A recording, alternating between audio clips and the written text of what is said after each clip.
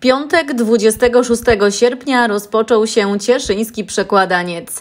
To festiwal organizacji pozarządowych, które mają okazję zaprezentować swoją działalność. Z tej możliwości chętnie korzysta Macierz Ziemi Cieszyńskiej. Macierzowcy przygotowali nie tylko stoisko, ale także zaprosili w niedzielę 28 sierpnia do Domu Macierzy w Cieszynie przy ulicy Stalmacha na dzień otwarty, gdzie prelekcje na temat macierzy dawniej i dziś wygłosił Wojciech Święs, a Władysława Magiera i Maksymilian Kuśka opowiedzieli o strojach cieszyńskich. E, Przekładaniec, no i oczywiście nie może zabraknąć też e, macierzy. Mieliście swoje stoisko, dzisiaj e, wykład i spotkanie ze strojem cieszyńskim, czyli też się prezentujecie.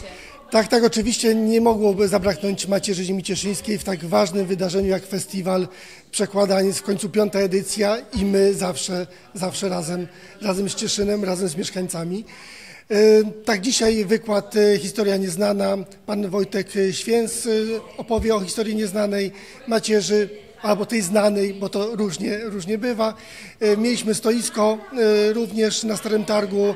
Prezentujemy się, otwieramy się. Mamy nadzieję, że coraz więcej młodzieży, młodych, e, nowych członków przyjdzie do macierzy, będzie zainteresowana kulturą, historią tego regionu.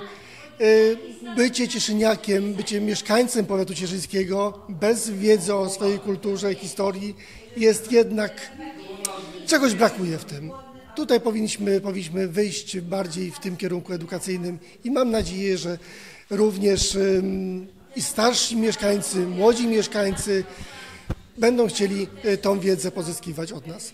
No właśnie i przekładaniec to jest taka doskonała okazja, żeby się pokazać.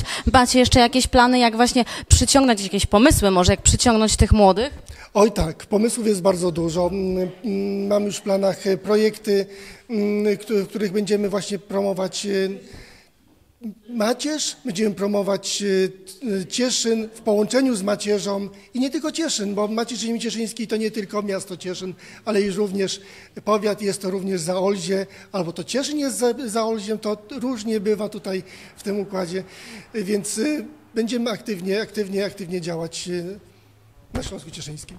No ale właśnie, może to jest też teraz dobra okazja, żeby zaprosić tych młodych, bo co, jeżeli ktoś by chciał wstąpić w wasze szeregi, to co, wystarczy tu przyjść e, i się zapisać, zgłosić, jak to wygląda? Tak, e, najlepiej m, mówimy o młod... nie mówimy o każdej osobie, każdym, e, każdej osobie. Zwłaszcza o młodych, ale każdego zapraszamy. Tak, zapraszamy każdego.